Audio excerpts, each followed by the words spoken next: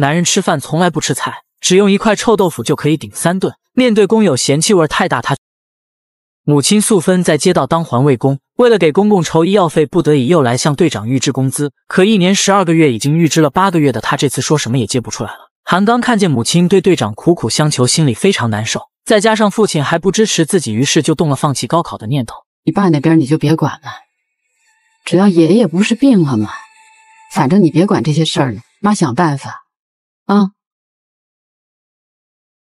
第二天，母亲瞒着老韩，假来到单位费了挺大劲，向同事借了三块钱。然而就在这个时候，家里又给老韩寄来了一封信。老韩看了以后，赶紧跑回家找素芬要那十块钱做路费回老家。听小儿子说，早上看见母亲把钱给了哥哥，他又匆忙来到学校，对老师说准备让韩刚放弃高考。老师吃和同学们苦心相劝，他还是硬逼着韩刚和自己回了家。不想多说，让儿子赶紧把钱要回来，又交给自己说把钱赶紧要回来。在韩刚心里，父亲撕碎的是自己的理想，是自己的前途，所以瞪着眼睛说：“不管怎样，自己就是要考大学。”就在这时候，母亲和弟弟跑了回来。年霸占全校第一名，却在高考前一天被父亲撕了准考证。这都是因为父亲要用仅剩的心来到河边，先是问儿子脸被扇的疼不疼，接着劝他别怪父亲，毕竟是因为爷爷病重，他太着急了。如果这辈子再也见不到爷爷，他的心里会有多难受？可韩刚还在生气，说混话以后自己没有这个爸。最后知道父亲已经上了火车，才跟母亲回家。晚上，母亲花了很长时间才将准考证的。就这样，第二天，韩刚正常的参加了高考。几天后，素芬一进家门，看见带着校布的老韩。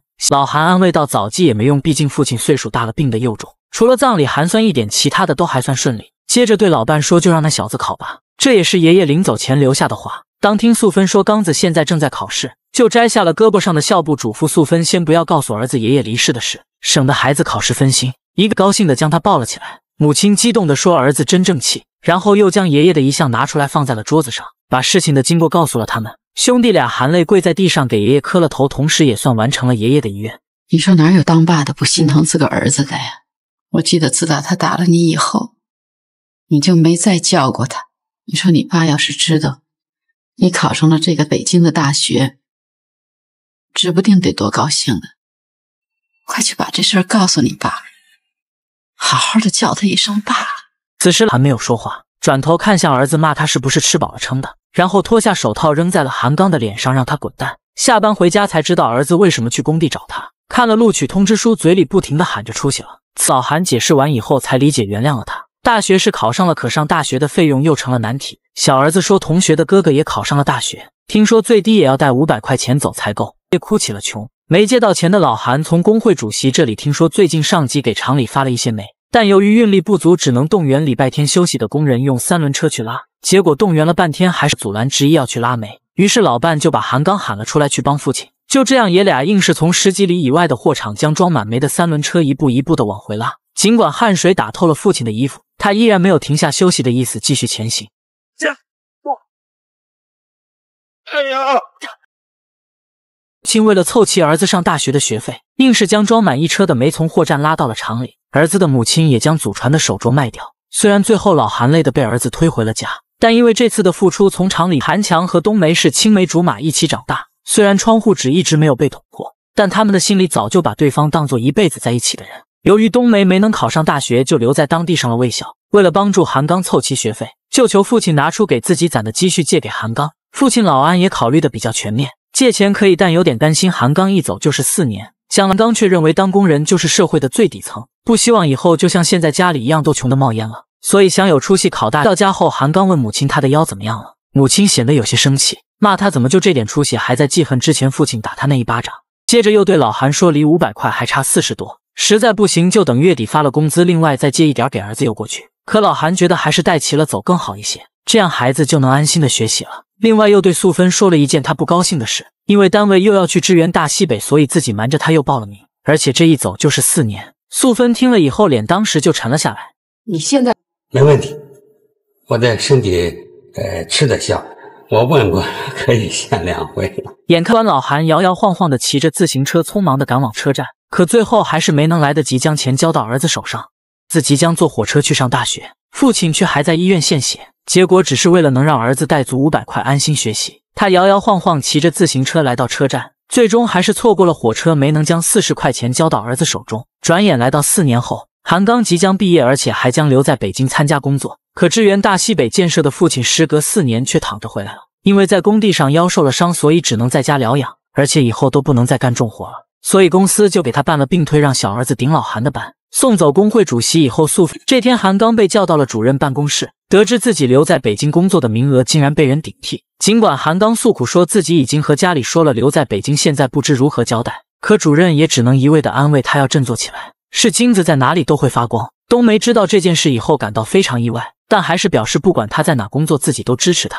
随后把韩刚两天以后回来的消息告诉了老，也能让小林的父亲改变对韩家除了穷啥也没有的看法，所以想趁这个机会公布他们结婚的消息。胡小英在韩强妈的眼里一直都是个心直口快、为人善良的好孩子，所以表示赞成，而且非常支持。唯独有点担心小英的父亲胡老三会不同意。不出所料，胡老三一听小英说非韩强不嫁，直接韩强听了小英父亲不同意的消息，非常失落。母亲安慰他别着急，明天让父亲去找胡老三商量一下。第二天，胡老三一听是老韩的声音，就装起了病。老韩开门见山的问他要什么条件才能答应让小英嫁给韩强。胡老三明知道韩家的条件，所以故意说必须要有一室一厅的房子才同意，意思就是想让韩强知难而退。爸，老韩走到院子里打量一番过后，将自己病退补助的存折拿了出来。准备用里面仅有的一千块钱将院子里的棚子改成一个小房子。下午父亲的打算告诉了他，可韩强听了以后觉得那房子也太小了。我跟你说不明白，我爸呢？大学四年后回到家，看到满脸沧桑的父亲，却没能喊出一声爸。这都是因为四年前被撕了准考证，还挨了他的一嘴巴。我知道他的内心是想大声喊出来的，可就是缺乏一股战胜自己的勇气。未来的老丈人惦记着韩刚的工作落实情况，听韩刚说即将到银行上班，提着的心可算是放了下来。银行的工资那可要比建筑工人高得多。韩刚谦虚地说：“毕竟大家的工作不一样，现在科学技术已经成了第一生产力，一台挖掘机可以顶上几十个工人干活。而且通过调查显示，有些工厂倒闭的原因就是退休工人太多造成的，赚的钱还不够发退休金的。所以没有这些人，工厂根本不会倒闭。如果没有这些老工人，有这个工厂吗？没有吧？没有这些老工人，就不可能有这个工厂。”这些老工人把一辈子都献给这个工厂了，献给人民了，献给国家了。老了老了，反而成累赘了，成 罪人了，这不对吧？万万没想到，第二天韩刚来到人事局，才知道自己竟然被分配到了华龙机械厂做出纳。主任给出的理由很简单，今年的分配政策就是号召大学生先到基层去，为的是他们将来当领导干部打好基础。老安一听华龙机械厂，就知道这是把这个大学生当初中生用了，所以就劝老韩在派遣证还没发下来之前，赶紧给儿子托一下关系，找一个好点的单位接收。可老韩却觉得这没有什么不好的，在一个不景气的厂里工作，反而是一个发挥自己的好机会。那你什么意思？你不管呢？不是金子哪儿都发光，有本事哪儿都一样，没本事再好的单位也就那么回事。你就不想管，不负责任。不是你这话说的，谁不想管，谁不负责任？我想送礼，哪有门子？父亲没咋着急，却把未来的老丈人急坏了。一个人喝起了闷酒，感叹上这个大学有什么用？真的应了那句老话：学好这个啊，数理化，盯不住一个好爸爸。要依我看到那个机械厂去，等你们俩结婚的时候，连韩强都不如，连个小棚子都混不上。可无奈痴情的女儿却对他说：“就算是韩刚去要饭，自己也会跟着他。”老韩在老伴儿的逼迫下，只能去找马经理帮忙。可马经理已经听说了韩刚被分到机械厂的事，所以等老韩登门的时候，就让爱人找借口说自己去了外地。回家以后，老伴还有点不相信他的话，以为他在撒谎。心里不平衡的儿子也气呼呼的走出了家门，而且正好遇见大学同学玛丽来找自己。因为玛丽的父亲正是母亲嘴里的能人马经理，所以他非常合理的被分配到了财政局工作。当他得知韩刚即将上任机械厂出纳，回家以后就开始在父亲身上花起了心思。提起小时候非常喜欢自己的银行行长任叔叔，希望有机会能和父亲一起去问候一下。没过两天，玛丽就骑着二八大杠来找了韩刚，让他赶紧拿着资料跟着自己去银行。任行长看了韩刚的资料以后，非常的认可，接着又问玛丽他们两个是不是在谈恋爱。玛丽知道如果没有这层关系，任行长不会答应自己留下韩刚，所以就直接承认，还希望任叔叔暂时先不要告诉爸爸，因为韩刚的工作安排好以后，自己准备给他一个惊喜。任行长出去给马经理打了一个电话。确认他确实知道女儿有这么个同学以后，没再多说什么。回到办公室，直接告诉韩刚，明天就可以来办入职手续了。两人从银行出来以后，准备好好庆祝一下，来个一醉方休。没几个回合，玛丽就化身超级玛丽，小脸喝得通红，同时也敞开心扉，对韩刚表达了爱意。名牌大学毕业，却被分配到机械厂做出纳。就在无比沮丧的时候，暗恋自己九年的玛丽利用父亲的关系，轻而易举就将他安排到了银行。在酒精的促使下，玛丽终于表达了对韩刚的爱意。但韩刚因为早已经和一起长大的冬梅定了终身，所以就拒绝了他。玛丽不肯放弃，就问他想过没有自己到底需要什么样的生活。面对他的问题，韩刚没有回答，选择了沉默。就连对冬梅，韩刚也没有说出实情。唯独父亲感觉到这件事没那么简单。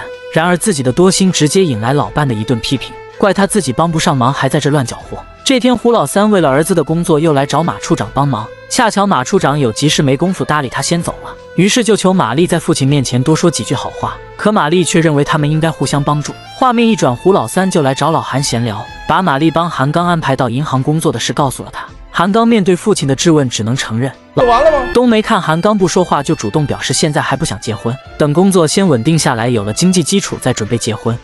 安叔，我们家的情况你也知道，我我不想这么匆忙。长遇到了老同学马处长。于是就开始主动邀起了功，可不成想马处长根本不知道这回事。第二天，韩刚穿上了母亲特意准备的西装和皮鞋，冬梅还细心的送他一个包装东西。可当韩刚走进银行以后，发现别人拿的包都很精致漂亮。上班第一天就被辞退的他垂头丧气回到家以后，听着家里人各自分析着是怎么回事，他不耐烦的求他们让自己一个人安静一下。玛丽知道以后来问任行长是怎么回事，可任行长只让他回去问一下父亲就知道了。这时就看一名员工走了进来。因为退，这都是因为行长发现了他和玛丽只是同学关系，所以在这个人情社会，任行长怎么可能做这种付出以后得不到人情的傻事？玛丽知道后又来找任叔叔求情，可却因为没有人了解最新的 IS 系统技术而犯愁。玛丽知道这是一次机会，于是就来找韩刚拿走了他的毕业论文。没想到任行长看了他的论文以后眼前一亮，觉得这个韩刚还真的是难得的人才，还忍不住把论文分享给了曾经学过金融的玛丽父亲。看马处长同样也非常认可。解释说，韩刚和冬梅根本就不是一路人，一个是名牌大学毕业，一个是普通的护士，所以韩刚对冬梅只有恩情没有爱情。在玛丽不断的诉说韩刚身上各种优点以后，父亲终于同意约韩刚出来好好见一面。来到见面的这天，玛丽提前嘱咐韩刚，为了他能找回银行的工作，待会不管父亲说什么都要顺着他回答。马处长表示自己之前并不知道他和女儿的关系，所以才产生了误会，但现在自己要帮他去求。韩刚看了看玛丽，犹豫了几秒钟后回答说自己爱玛丽。临走前，玛丽还送给韩刚一个公文包。第二天，韩刚果然顺利的又回到了银行上班，而且也有了属于自己的办公桌。任行长还嘱咐他以后一定要好好干，千万不要辜负玛丽的一片苦心。下班以后遇到冬梅，他想开口说点什么，却欲言又止。冬梅知道胡老三看到路过的老安就叫住了他，还想和他商量一下儿子家旺和冬梅处对象的事，弄得老安一头雾水，认为胡老三应该是脑子出了问题。明知道冬梅和韩刚从小青梅竹马，他还故意这么问：什么青梅竹马？光剩竹子了，马早跑了。老安提起他现在工作也稳定了，是不是应该和冬梅结婚了？韩刚仍然用男人应该先立业再成家为理由说再等一等。可老安觉得冬梅已经等了他四年了，真的不能再拖了。韩刚看韩刚还在装糊涂，不明白什么意思，于是就质问他能够进银行是不是玛丽帮的忙？是，怎么了？人家没提你这个意思。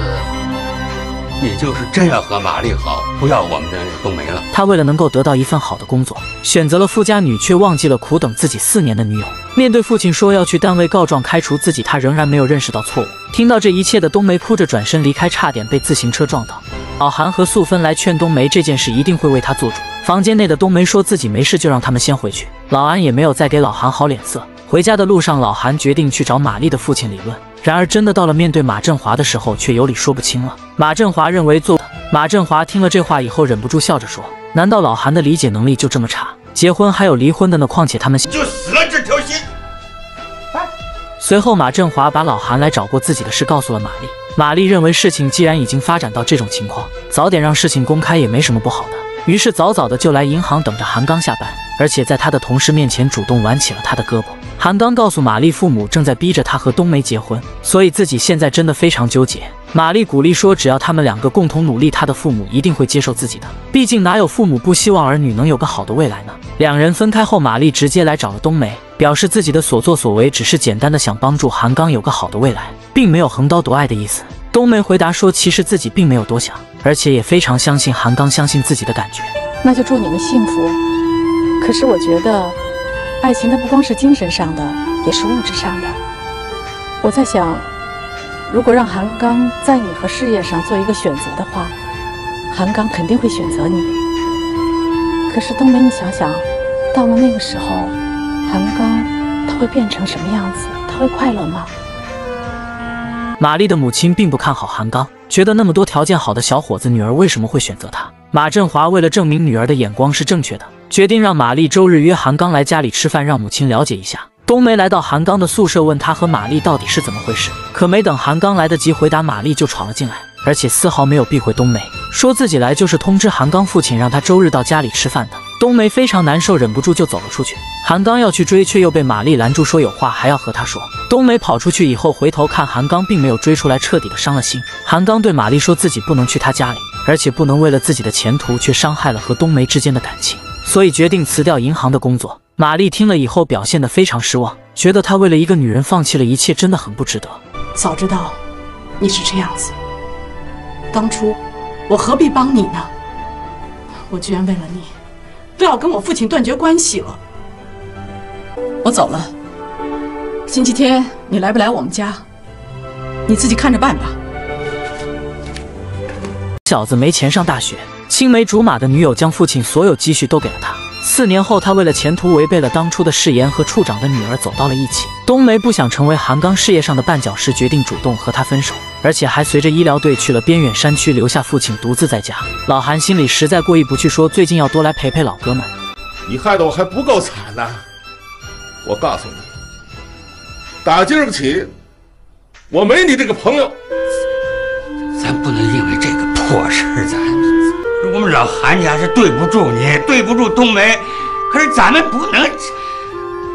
银行的信贷部是人人都想进的部门，韩刚也不例外。但因为他是新员工，资历太浅，根本没有希望。要想破例，除非未来的岳父大人伸手帮忙。可毕竟自己和玛丽还只是恋爱关系，还不足以得到马振华的支持。恰巧这天，韩刚登门拜访未来丈母娘。吃饭的时候，马振华开始催着他和玛丽赶紧结婚。韩刚为了尽快得到他事业上对自己的帮助，只能答应。但倔脾气的父亲还在因为韩刚辜负了冬梅而生气，根本不想搭理这个儿子，更别提去参加他的婚礼了。毕竟马振华也算个有头有脸的人物，为了面子也不能容忍新郎的父母不参加婚礼。不得已，玛丽就来找韩刚的母亲，用起了苦肉计，哭诉着自己暗恋了韩刚整整九年，现在走到一起是有多么不容易。而且为了韩刚的工作，差点和父亲断绝了关系。韩刚的母亲虽然没有答应他，但心已经软了下来。回家以后和老韩提起了这件事，可老韩态度依然是非常坚定，说什么也不去。玛丽接着又来找胡老三帮忙，毕竟胡老三的女儿将来会与玛丽成为妯娌，所以为了攀高枝，就来找韩刚母亲这里添油加醋，说他就是太惯着老韩了，不能什么事都让他说了算。实在不行，就给他来个一哭二闹三上吊。素芬回家以后，先是做了几个好菜，才提起去参加儿子婚礼的事。看老韩依然是又臭又硬，说啥都不同意，还说他要是想去的话，自己不会拦着。你不就是觉得对不起冬梅那孩子子吗？还不是冬梅这孩子一个人的事，这关系到这个韩家，你是怎么做的人？怎么做人呢？再怎么做人，那你就不能为咱们自己的儿子想想啊？怎么想？你去啊，我没拦着你啊，让你去啊。我跟你说我的话，你一句你都听不进去。要去你自己去，我不去，我也不拦着你，不就得了吗？干嘛呀？这是？我干嘛呀？我为了谁呀？我一辈子都是为了你。这件事以后咱们不提了，行不行？干嘛不提呀？这事就卡在这儿了。你去还是不去啊？就卡在这儿了。谁要再给我提这个事，我给你急！我告诉你，干嘛去啊你？别动！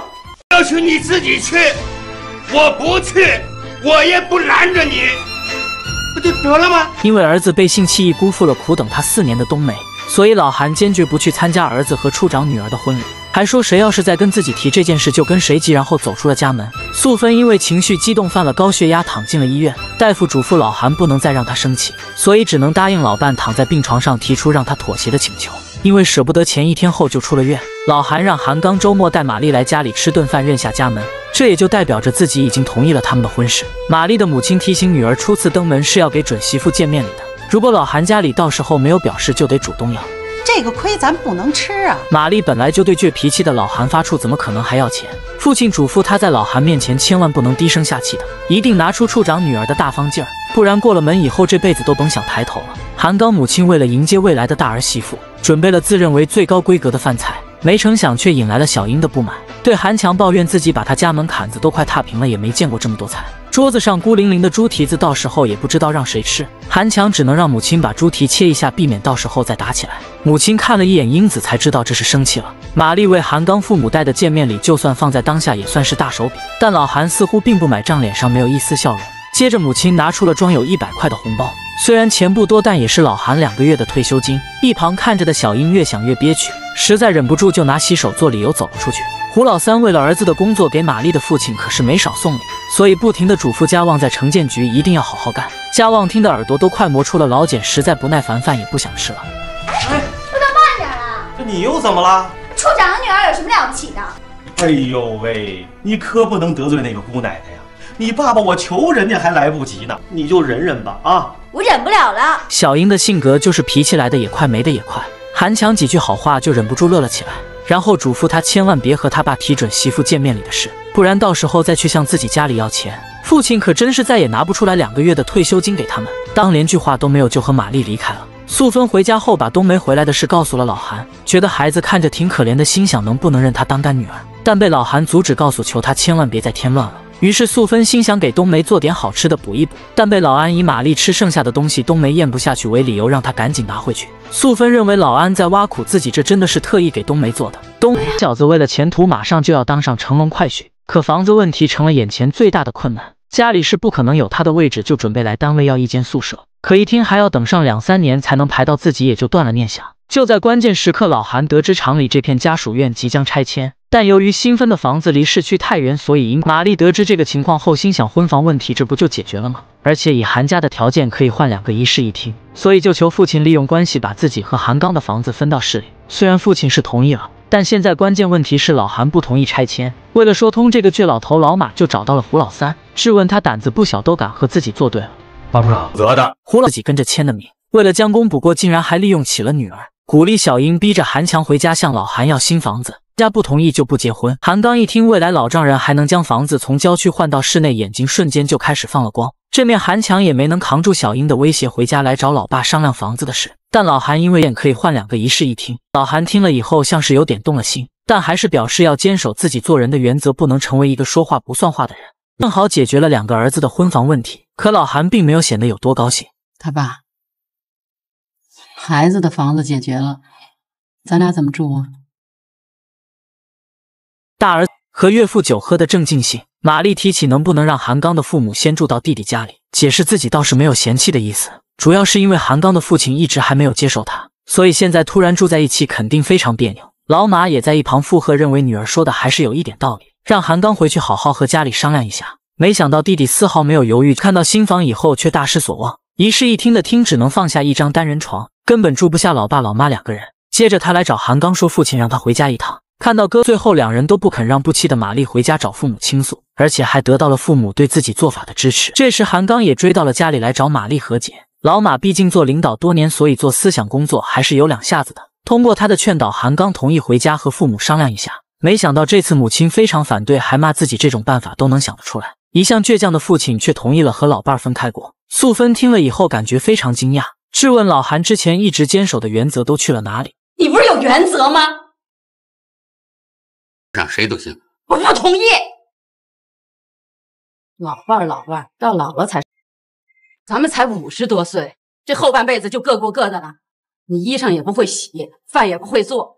谁伺候你？可最后却因为把房子给儿子做了婚房，落个自己没地方住，只能分开两个儿子家中各去一个。因没有一点思想准备，还想放弃，但在冬梅的劝说下，最终同意和韩强结婚，把孩子生下来。知米已经煮成熟饭，只能同意他们抓紧结婚。韩刚这面春风得意，又借到了老丈人的光，即将被提升为银行信贷部的副经理，这也给了两人勇气，开始憧憬着在不久的将来，韩刚会成为最年轻的行长。眼可自己也不太清楚。素芬也就直接坦白了家里的实际情况，总共就几百块钱，感觉实在是挺对不住他的。商量小英说先把婚结了，等以后用退休金再慢慢补贴他们。孩子生下来之后自己也会帮着带。没想到接下来小英的话直接将婆婆感动的流下了眼泪。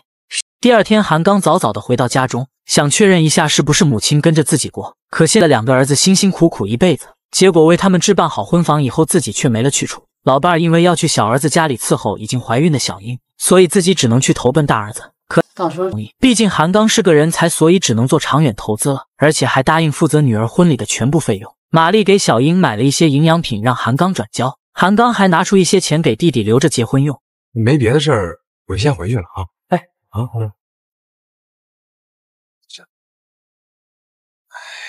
小英知道东西是玛丽买的，就猜出她别有用心。听韩强说大哥想让母亲跟他们住，以后更是火冒三丈，说啥也不同意。看小英不买账，韩刚只能继续求玛丽收留父亲。可玛丽仍然不肯让步，气的直接就将电话挂断。加上同事添油加醋的几句话，她终于忍不住决定亲自去找婆婆谈判。玛丽认为韩叔一直不支持韩刚和自己在一起，如果他们每天见面的话，难免会造成彼此都不愉快。所以为了能让老韩多活几天，还是婆婆和自己一起过更好一些。婆婆解释说，其实自说出来，小英面对挑衅丝毫不怂，反驳玛丽，就算自己再不好，但也比她强多了。你抢走了冬梅姐的韩刚，你就是这世界上最坏的女人。店内打的人仰马翻，同时也引来左邻右舍的无情观看。就在这时，小英突然腹痛，才停了下来。来到回去后，父子三个久久都没有说话。老韩不能再像小时候那样教育两个儿子，只能狠狠地跺了一脚，发泄心中的不满，然后就摔门而出。玛丽知道小英的孩子没出事，可下是松了一口气，心想真要是没了自己，可就成了韩家的罪人。这面胡老三替女儿分析，其实老韩跟着他们过也不是不行，毕竟老韩有退休金，而且还经常出去擦鞋赚钱。可韩刚的母亲啥都没有，只能做饭哄孩子。是在未来婆婆给自己送饭的时候，就主动说自己同意让她去跟玛丽过。玛丽那脾气，今天你也看见了。虽然她上过大学，可是她心眼儿小，她容不下别人。要是韩叔过去了，肯定得受气。不知道小英是不是真的担心老韩，但他的儿子娶了一个好媳妇。第二天，老韩从一家律师事务所走了出来，然后把两个亲家和儿子儿媳都叫到协议，让两位亲家作为证人，和儿子儿媳都要在上面签字。两个儿子看了以后都觉得这么做不合适，这明明就是不信任自己，到时候又不会不养他们老。其他人也都跟着在上面留下了自己的名字。今天是老韩儿子结婚的日子，可临近中午，却一个前来捧场的人都没有。司仪也不想再浪费时间，如果再有半小时不开始，就准备离开。这都是关键时刻，老安来找了有些威望的赵师傅。结束后，老韩因为喝的太多被扶进了屋里，然后对老伴说：“今天这个改口环节真的是太让自己高兴了。我们俩人呢，我们又不是上门的女婿。这是衣服如果不穿会给你们丢人，那我们就穿。”因为打了儿子一个耳光，往后的日子里就再也没听他叫过自己一声爸。在儿子结婚的这天，亲眼看着他在自己面前喊着别人，心里真的是五味杂陈，不知用怎样的语言才能形容。亲家母一回到家就忍不住发泄着对老韩在婚礼上的表现非常不满，没有都不如自己有，一定要留好自己过河的钱，妈钱要存下积蓄。所以从下个月开始，自己试着要做家里的会计。而且听话的韩刚没有多想，直接就答应了。这天没想到玛丽又直接拿出两个塑料袋让他套上。韩刚看弟弟显得非常尴尬，就让他赶紧进屋吧。玛丽对他的做法很生气，扭头了，还是回去吃吧。送走韩强以后，玛丽马上就擦起了地，还让韩刚告诉他弟弟，下次来了以后必须得换鞋。两人坐下来，韩刚和玛丽商量，想趁这，玛丽把新买的毛衣递给了老韩。这时，韩强和小英也走了进来。老韩对老伴说自己韩刚的心意。小英知道自己拿的东西有点太便宜了，就希望公公婆婆不要挑理，毕竟韩强的条件不如大哥大嫂。而且孝不孝顺也不是买多贵的东西能体现的，婆婆只能赶紧化解矛盾，说不管送什么都是一片心意。接着张罗着大伙赶紧坐下来吃饭。转眼来到了即将拆迁的这天，老韩看着自己住了三十年的房子，心里非常难受。因为明天老两口老伴上车以后，老韩一直舍不得先离开。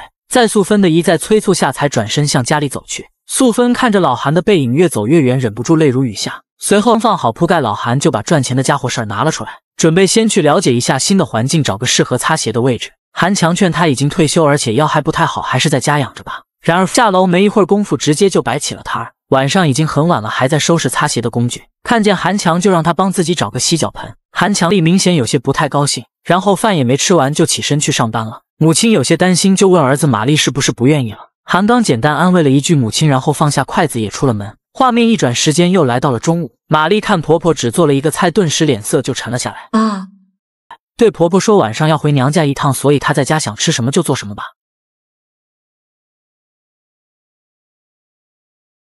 玛丽像是受了什么虐待一样跑回了家，因为婆婆担心做两个菜吃不了浪费，没成想却引来了儿媳妇的不满，直接撂下筷子跑回娘家啃起了面包。在小儿子家里的老韩虽说也承包起了做饭的活，但儿子儿媳从来都是毕恭毕敬，还非常关心他。所谓知子莫如父，看出韩强有些不正常的父亲主动问他发生了什么事，这才知道单位效益不好，已经让他下了岗。眼下小英怀孕正是用钱的时候，所以得赶紧找个工作。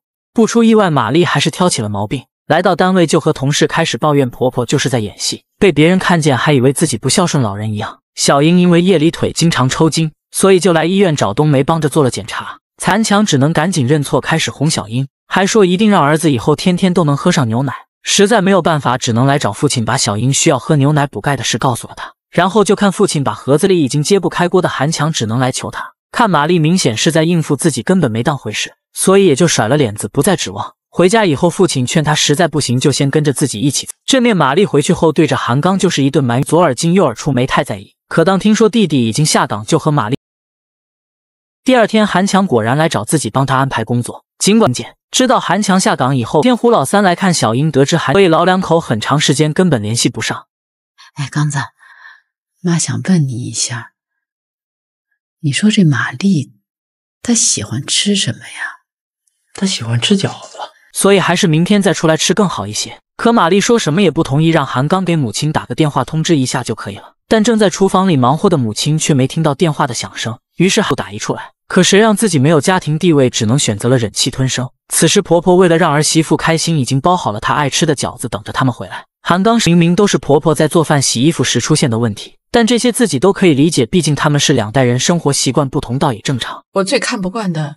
出门时还将垃圾顺便带到楼下扔进了垃圾桶。白天婆婆想梳理一下头发，才发现老伴送给自己的梳子已经不见了，于是赶紧跑到楼下，从垃圾桶里又拿回了那把木梳。玛丽下班回来后，发现那把旧木梳竟然又出现在了洗漱台上，就问在做起了服装生意，卖的都是从广州进的正品港货。结果很晚才回家的韩强看见媳妇，第一句话就是：“我要发财了。”小英一开始还不相信，但听出卖，同样变得非常激动，和韩强一起做起了发财梦。经过父亲的仔细盘问，才知道想要随便赊货，必须先交一千块的押金。老后成为万元户，还没有本钱的韩强，只能求父亲和自己一起去找哥哥帮忙贷款。可银行毕竟不是他开的，而且那时候银行按规定也不向个体户放贷。他看着父亲的为难和弟弟期望的样子，只能答应再想想办法。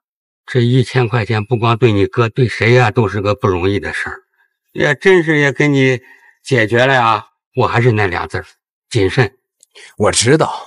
韩刚回家后，鼓起勇气和玛丽提起想借钱给韩强做买卖的事。玛丽听了以后，连一秒钟都没舍得考虑，直接告诉韩刚，这钱千万不能借，已经断定凭韩强的智商，这钱只要借了就是有去无回。这不好吧？那有什么不好的呀？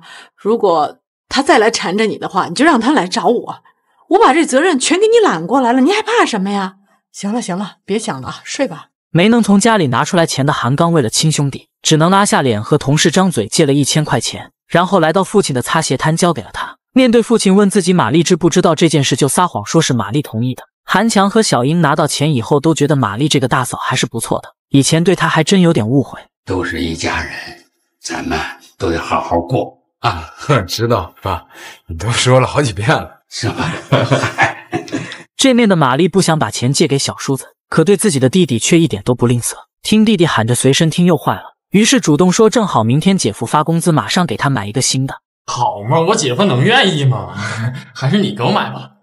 哎呀，你姐夫的钱都是我管着的，我说给你买了你就买呗，你管那么多干嘛呀？第二天，韩刚拿到工资以后，来到了典当铺，他要将母亲当年为自己凑学费当掉的手镯赎回，也算自己报答母亲的一种方式。可当年老板收的时候只用了一百块，现在想要赎回却需要八百块，而且还是一口价。但韩刚并没有多说什么，还是决定把它拿回来。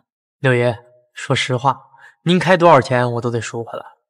那是啊，你是孝子嘛。当他把祖传的手镯拿到母亲的面前时，母亲被感动，眼泪都流了下来，因为她根本想不到自己有一天还能再看到这个手镯。韩刚则对母亲表示感谢，并说道：“要是没有这个手镯，自己可能就上不了大学了。”可就在这个时候，玛丽突然回来，同时也代表着韩刚的好日子又来了。为了完成母亲的心愿，将当了一百块的镯子用八百块赎回，不成想被媳妇埋怨乱花钱。而且明明知道自己要帮弟弟买随身听，他还把钱花在了没用的镯子上。母后为玛丽的弟弟买了随身听，玛丽为了让弟弟高兴，饭都没吃就回了娘家。不成想婆婆的做法没能换强和小英，面对小英感谢自己借钱给他们做生意，直接蒙圈。回家以后冲着韩刚又是一顿怒吼，明的钱都进了蝙蝠山。回去小英一翻包，才发现底下装的衣服都是残次品，韩强才醒悟自己是被骗了。再次来到赵四住址，结果已是人去楼空。今天是他第一千次去接不喜欢自己的女孩下班，只因为来的晚了一点，冬梅竟然就被两个男人拦住，图谋不轨。家旺急就是之前他还不忘对冬梅表白，还说今天能为她流血也算值得的。因为家旺一直以来就给人一种不学无术的形象，加上冬梅和韩刚从小就属于一对，所以冬梅从来没有在意过家旺。直到韩刚背信弃义，为了前途放弃冬梅以后，家旺才有了机会。幸好的腿真的落下残疾，自己一定会嫁给他。老安知道女儿是为了报恩才想这样做的，所以说就算拿出家里所有积蓄做赔偿，也不愿意让她嫁给家旺。可不管怎么说，冬梅都吃了秤砣，铁了心要自己的路自己走。转眼家旺已经康复出院，而且丝毫没有落下残疾。而胡老三让他一定要装出腿瘸的样子。第二天，大夫指着片子说手术做的明明非常成功，不明白他怎么还瘸。已经看出端倪的老安指责胡老三有点太过分。这老安呢？你这你这不是狗咬李冬斌，不知好人心吗？这要不是我们家家旺救你们家冬梅，他他他能成这样吗？他，我跟你说三叔，您放心吧，我说的话算数。冬梅，你最终父亲还是没能拧过女儿，家旺如愿以偿的娶到了冬梅，实现了屌丝逆袭。父即将临产，男人却被关进看守所。幸好有老父亲骑着三轮车及时将儿媳妇送到医院。因为韩强做生意被骗，害怕回，而且没扛住他的诱导，一起偷起了电缆。结果快钱没赚到，还被治安员抓现行，送进了局子。虽然这哥俩认罪，我婆婆现在去医院照顾大人和孩子了。韩强知道自己已经当爸的消息，就更着急想出去了。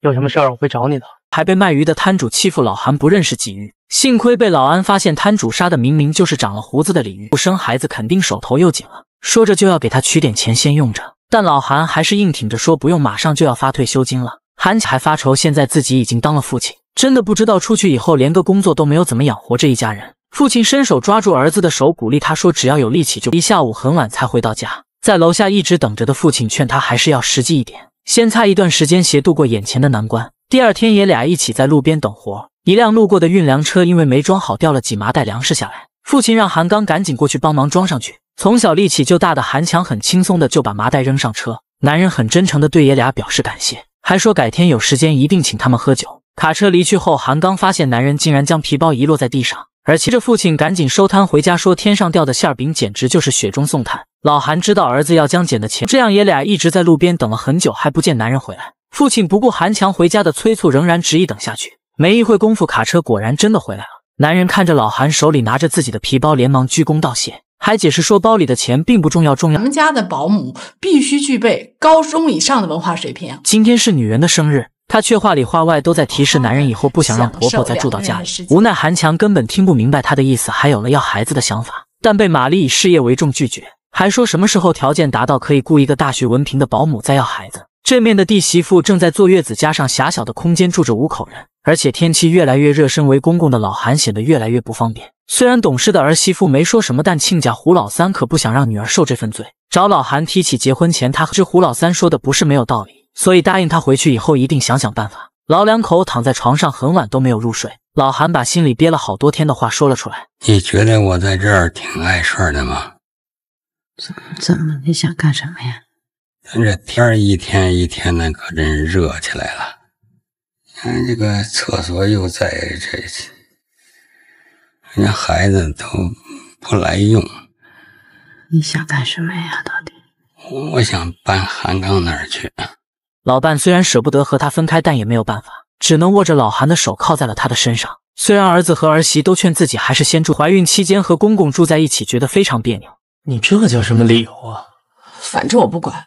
我就是觉得别扭，你得想办法。父母听了韩刚的回复后，开始犯起了愁。韩强知道大哥怕媳妇，但没想到会怕到这种程度，于是忍不住来找大哥讨个说法。韩刚一开始看到弟弟的态度，被弟弟埋汰了一顿的韩刚非常沮丧，同时懂得把握火候的玛丽也没再敢反对他接父亲来家里的决定。韩强回去以后，把刚才的事告诉了小英，埋怨大哥再怎么也不能把父亲往回撵。而且真的是一点都不硬气，他把年迈父亲接到家里没超过一天，媳妇就忍不住跟他闹起了矛盾。原因是他觉得老头在小区里擦鞋赚钱，给自己丢了人。让外刚解释说，父亲就是想赚点钱帮助经济困难的弟弟。看玛丽仍然不依不饶，只能同意找机会劝劝父亲。中午，老韩为了不耽误客户来取鞋，就准备办事，所以着急忙慌的又下了楼。不出意外，韩刚对父亲轻描淡写的意见引来了玛丽的一顿埋怨。因为晚上玛丽没有睡觉，一直在等加班的韩刚回来，跟他抱怨自己已经受不了单位和小区的人对自己的闲话，逼着韩刚现在就去和已经入睡的父亲说这件事。韩刚没有办法，只能叫醒父亲。然后求他顾及一下自己的感受，能不能就别擦鞋了？父亲反问韩刚，自己可不可以到远一点的地方去擦？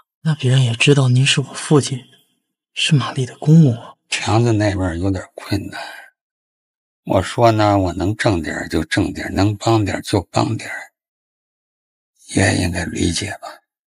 第二天，老韩像往常一样准备去开工干活，不成想三轮车已经被人用铁链子锁住。两天以后，闲不住的老韩终于忍不住向玛丽张嘴要车钥匙，解释说自己要是再这么待下去，真的快憋出病了，希望他能理解一下。尽管这样，玛丽仍然没有同意，还让他去找韩刚商量。老韩一气之下就用锤子把锁头给砸了。下班回家的韩刚看到以后也没说话，就上了楼。结果玛丽知道后又闹了起来，抱怨老头怎么就这么固执，而且他心里永远都是韩强，就没有韩刚这个儿子。你能不能不说了？我就得说，我真的不能让他去干了，我受不了了。你不怕别人的闲言碎语，可是我怕，人家不会说你儿子不孝顺，会说我儿媳妇不孝顺，说我不好。那你说怎么办？他就那性格，我打小他就那样。他有性格，我惹不起。我走。玛丽，玛丽看到正在忙活的老头后，停下了脚步，然后甩了一个脸子和白眼给他，就匆匆的离开了。韩刚没办法追回玛丽，就转头走到了父亲身边。你能不能不操心了？你要是缺钱，我给你行不行？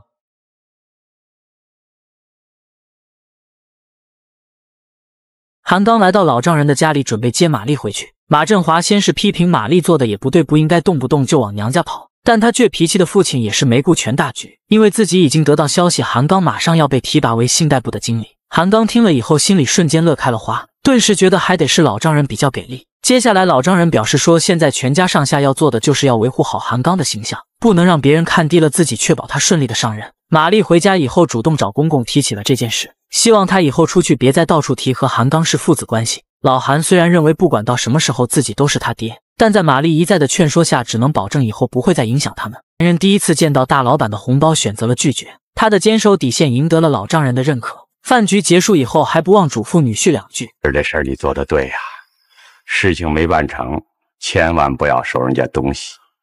如果办成了，对方会重重的谢你；如果办不成呢，他也没有什么可说的呀。”几天后，孔老板主动登门，对韩刚的帮助表示感谢。面对装满钱的信封，韩刚一开始还在犹豫，但玛丽的眼神最后给了他收下的勇气。父亲回来的时候，正好遇到要走的孔经理。老韩看他客气的样子，加上听到玛丽和韩刚的对话，也就明白了事情的严重性，于是劝他们最好还是别收这些钱。爸，这是韩刚帮人家贷款，给人办成了，人家表示一点谢意。反正我觉得这个钱最好别要。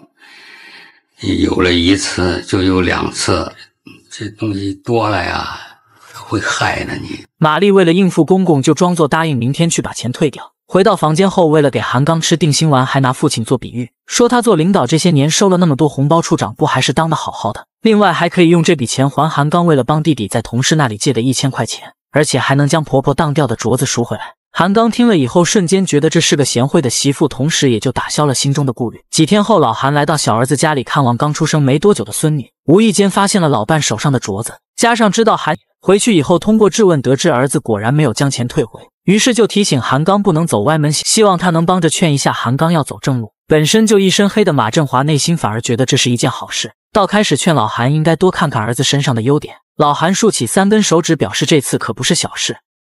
你老话说了。喝凉酒，花脏钱，早晚是病。有一回就有二回，二回三回。他要是把这个事都看习惯了，都坏了吧？马振华知道跟这个亲家根本说不通，于是就先答应他找机会，一定给韩刚一点忠告。韩刚这就像是自己努力了这么多年，终于有了回报。小儿子刚考了驾照，成了运输队的正式司机，第一时间来接父亲，体验一下坐汽车的感觉。接着又来到饭店，点了父亲爱吃的肉馅饺子。快，真你歌都这么唱了，我真不明白了。父亲生病住院，两个儿媳妇因为谁来陪护吵得不可开交。毕竟韩强白天还要开车，母亲担心他太累，就给韩刚打电话，让他今天跟弟弟换一下。结果本来就不愿意的玛丽，恰巧遇到韩刚和冬梅抢着去给公公刷饭盒，醋意大发的她不仅认为是韩刚想和冬梅藕断丝连，还觉得公公也在故意推波助澜。你你怎么这么说老人啊？我怎么说老人了？这是事实。玛丽，你现在怎么变成这样了？跟个泼妇似的。你玛丽和往常一样被气回了娘家，父亲倒觉得这不算什么大事，可母亲听了之后认为韩刚现在翅膀越来越硬了。玛丽越想越生气，对冬梅也是越来越恨。于是就拨通了胡老三家里的电话，对冬梅能够帮着韩刚一起照顾公公表示感谢，故意挑拨家旺误会冬梅和韩刚还有联系。家旺瞬间来了脾气，准备冬梅回来以后好好收拾他一顿。马振华还算清醒，觉得女儿太冲动，不应该把他们两个人的事扩大到满城风雨。强了，咱们家丽丽够委屈的了，这是韩刚的不对，还有那个安冬梅太没有教养了。这面还不知道情况的冬梅回到家以后，正准备给这爷俩做饭。家旺上来就开始质问他是不是一直在和韩刚联系，结果没等冬梅解释完，就挨了一个大嘴巴。冬梅回到父亲家里，被老安察觉到情况不对，一猜宝贝女儿这是被胡家旺欺负了，直接来到胡老三家里，对着家旺就是一撇子。长能耐了啊，学会打老婆了。冬梅怎么你了？天天伺候你们爷俩吃，伺候你们俩喝，你敢打他？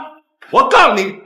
我们班里还有人，你知道吗？爸，走吧。我跟你们一样不改的毛病，我给你这非把你给打扁了都可。几天过后，老韩在医院实在是住不下去，就出院回到了韩刚家里。中午吃饭的时候，玛丽灵敏的鼻子瞬间闻到了一股臭味。这时就看老韩笑嘻嘻的端起了两块臭豆腐，看玛丽捂着嘴跑回了房间，老韩自知闯了大祸，接着赶紧把臭豆腐端出去扔掉。玛丽对韩刚又是一顿抱怨，公公心里只有自己，一点不为别人考虑。韩刚无奈，只能来劝父亲以后别再吃这东西了。我错了。我给玛丽赔不是，我发誓以后我再也不吃这玩意儿了。几天以后，玛丽通过检查得知自己已经怀孕，老韩也第一时间把好消息告诉了老伴儿，开始准备做一些孩子用的衣服和被子。画面一转，玛丽就顺利生下了一个叫做文文的男孩。老韩刚要伸手摸一下大孙子，就被亲家母推了回来。你手脏，你别碰孩子，孩子小没有抵抗力，再让孩子受刺激。接着，老伴儿把自己亲手做的被子和尿布拿了出来。结果又被亲家母嫌弃又旧又不卫生。你这些呀，现在都过时了。你看，现在都兴这个了，这一次性的多好啊！啊，对，流行这个一次性。看我给孩子买的垫子，这多漂亮啊，还有图案呢。这一件啊，都十多块呢。我打下的江山，我心里有数。我挣的钱够你两辈子花不完的。身为处长的他，刚刚退休就被老伴儿处处嫌弃。但是半小时前，一位煤老板的到来，又让马振华找到了曾经的自信。哎，有事说事，咱们都是老朋友了，谁跟谁呀？说吧。就看两人聊了几分钟过后，男人就着急先离开了。老伴知道他这是来了业务，于是就提起在国外留学的儿子，急需转一笔钱过去。从来不管钱的马振华，想不到自己仅仅退休几个月，家里就已经坐吃山空。俩人因为钱吵得正欢。玛丽打断了他们提起自己想买房子的事，因为房地产公司的老板是自己的同学，所以本来价值五十万的房子答应只卖给自己三十万。父亲一听这是个转手就赚钱的好事，就让女儿赶紧定下来。但是玛丽正发愁自己现在连二十万的首付也拿不出来。机会来了，刚才老孔找我呀，就是想让韩刚帮他贷点款，一百万有百分之十的回扣呢。玛丽回家以后马上就说了买房子的事。还提议等有了大房子，就可以让韩刚的父母都来家里住了。韩刚听了以后开始动心，所以也就有了第二天的这个饭局。韩刚看到老孔拿出的各项证明，根本和玛丽借钱的手速，韩刚也就答应了一百万的贷款。没想到老孔还算讲信用，提前还款，让韩刚心里的石头落了地。可他竟然又提出想接着再贷一笔更多的钱，但因为手续不全，被韩刚拒绝。老孔没有办法，只能又来找马振华帮忙。马振华听了以后也觉得金额太大，不太好办。但听到一旁的老伴突然咳嗽了一声以后，又开始给老庞留了余地，说找领导再想想办法。第二天，韩振华就把身为副行长的老同学和韩刚约到了一起。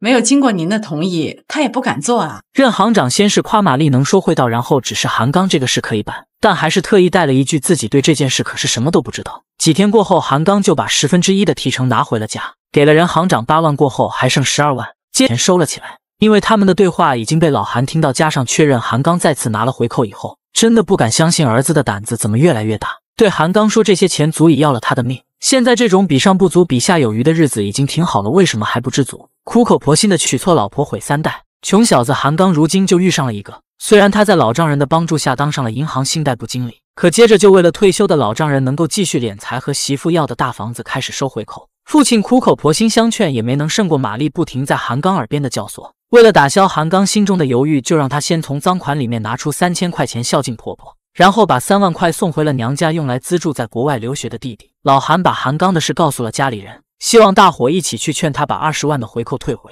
如果这个事不及时解决，必然是家破人亡。接着，老两口来到银行找到了大儿子，因为这里不方便说话，韩刚就把他们带到了一家豪华饭店，直接点了一只十斤的龙虾和五斤的鲍鱼。老韩果真来找马振华要回赃款，而且没什么商量，必须一分不少的吐出来。看马振华找借口说钱已经汇给国外的儿子，觉得韩刚正因为孔老板贷款即将到期没能还款所犯愁。恰巧这时父亲又来给自己添乱，就更加烦躁。马振华听了以后，急得在家里转起了圈儿。玛丽问他：“韩刚要真出了事，自己跟儿子可怎么办？”不成想，父亲竟然把责任推得一干二净，把事都赖在了在事业上互相扶持了三十年的老同学。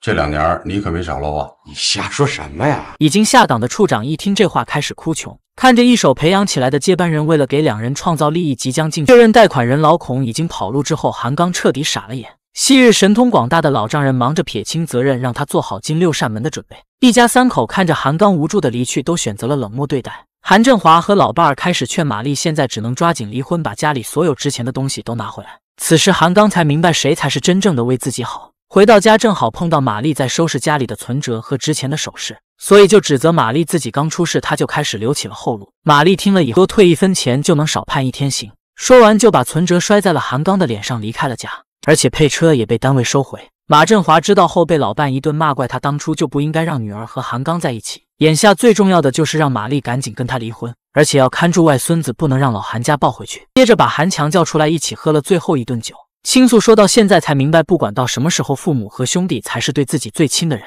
接着又嘱咐韩强以后要多留神母亲的高血压，然后又来见母亲最后一面，和他寒暄了好久，回忆小时候母亲为了兄弟俩过的苦日子，再到这些年自己对父亲的误会，不是他不想喊一声爸，而是一直不知道为什么就是叫不出口。最后，他独自来到了曾经和冬梅经常来的小河边。此时，老韩听老伴和韩强说的种种迹象，已经察觉到了有事要发生。因为挪用公款身败名裂，不敢面对现实，服下大量安眠药，准备先走一步。幸好被父亲和冬梅及时发现，送到了医院。丈母娘知道后，觉得这可能是气如听母亲的了。到医院以后，被怪他们一家害了大哥的韩强和小英用话一顿怼。知道自己不占理的玛丽无力反驳，只能跑到角落哇哇大哭。韩刚因为抢救及时保住了性命。在父亲的劝说下，选择来到派出所自首。马振华听说这件事以后，害怕自己被牵连，直接吓成了脑中风。老韩嘱咐儿子一辈子谁能无过，所以不要气馁，好好表现，争取宽大处理。临走时又想起了一个问题：这个老话说哈，子不教，父之过。他犯了事儿，我也有错，我也有责任。有没有这种可能啊？我不太懂法律，惩罚他的，我能替他一点吗？不用说，这是不可能的。但他今天能够带儿子来自首的做法，对从轻处理是有一些帮助。加上韩刚及时指证同案的相关人员，追回了大部分赃款，最终被判处有期徒刑两年，没收非法所得。玛丽没能扛住父母的逼迫，不顾多年的感情，选择和韩刚离婚，然后和那位做房地产的老同学走到了一起。两年的时间转眼即逝。韩刚出来的时候，父亲和弟弟一起来接他。此时的韩强已经成了装修公司的老板，公司规模虽然不大，但却有一个大人物坐镇。爸，是我那的技术顾问兼建筑总设计师。哈哈哈哈 你这个弟弟瞎胡闹，我就是个建筑工人，非要什么设计师？韩强把曾经的一室一厅换成了两居室的大房子，还和父母住在一起，所以只能把大哥暂时安排在客厅住，还说等以后把钱挣够了就给他再买一个。冬梅因为受不了家旺的欺负，最终离了婚。辞去护士的工作以后，通过努力开了一家家政公司。接下来，韩刚不停的找工作，但是因为有前科，根本没人敢再用他，不得已就来到了弟弟的装修公司。韩强在向员工介绍的时候，只说了大哥是名牌大学毕业，这次能来公司上班，就是为了下基层体验生活，唯独没有提他进过监狱的事。直到这天，一位客户和员工闹起了矛盾，因为公司使用了不是当初锁定的进口涂料，所以不想结清尾款。韩刚没有弄清情况下，就和客户叫起了板。哟。你还蹬鼻子上脸了是吧？这臭打工的还敢跟我叫板？是不是不想混了？把你们老板叫出来。去呀！这位就是我们韩总的哥哥。然而，女人得知他是老板的哥哥，并没有转变态度，却开始冷嘲热讽的提起他现在不是应该在蹲监狱吗？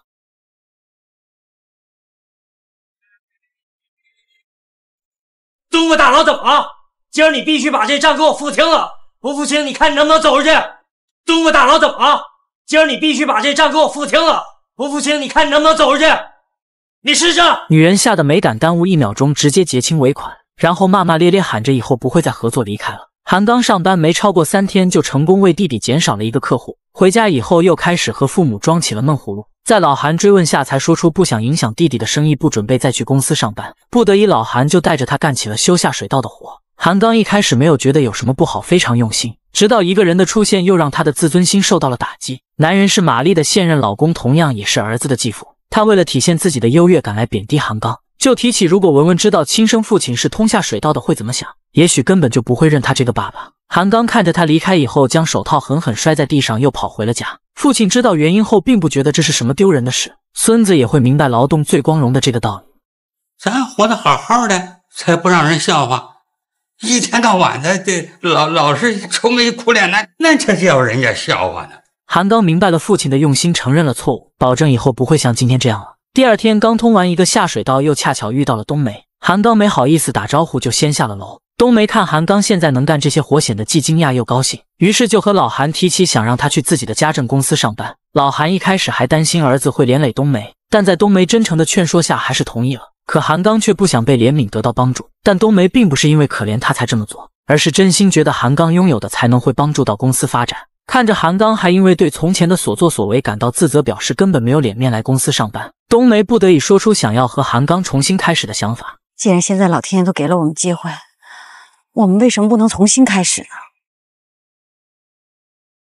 这天，韩刚正要去处理员工和客户引起的争执，冬梅催着他赶紧去检查一下最近身体有些浮肿的原因。可韩刚说什么也不去，非要先去处理事情。结果到了晚上，在给公司写发展计划书的时候，栽倒在了地上。来到医院以后，因为老韩身上没带钱，所以是韩强交的住院费。没成想回家，小英就开始了埋怨：现在大哥还没挣钱，就开始往里搭钱，不知道什么时候是头。不是你什么意思？我什么意思了？我就是说，你应该事先跟我商量商量。当时你不是不在呢，我现在我告诉你了，是不是？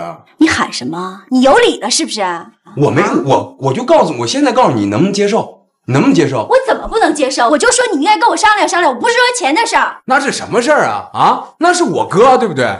此时门外听着的母亲将几颗速效救心丸放在了嘴里。一天以后，老韩终于等到了韩刚的化验结果。韩刚得的是尿毒症。